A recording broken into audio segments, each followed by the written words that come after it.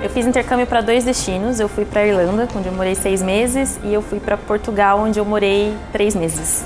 Os meus dois intercâmbios eles foram mais para fim de estudo. O primeiro com um foco mais cultural e de idiomas, e o segundo era uma especialização profissionalizante na minha área de estudo. Então foram focos diferentes, mas os dois para estudo.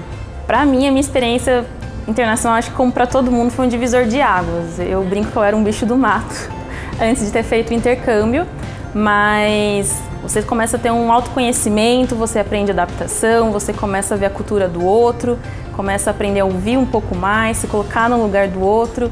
Então, pessoal, eu acho que me mudou muito. Eu me tornei uma pessoa, creio eu, que muito melhor. E profissional, sim, para o currículo abriu muitas portas, fora o idioma, né? Que a gente começa também a ter a questão linguística e o cultural também agrega bastante para o profissional.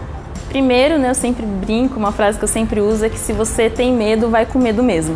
Né? Sempre assusta, é uma novidade, tem gente que vai sozinho, tem gente que vai acompanhado, mas sempre dá medo do diferente do novo. Então não deixar o medo barrar.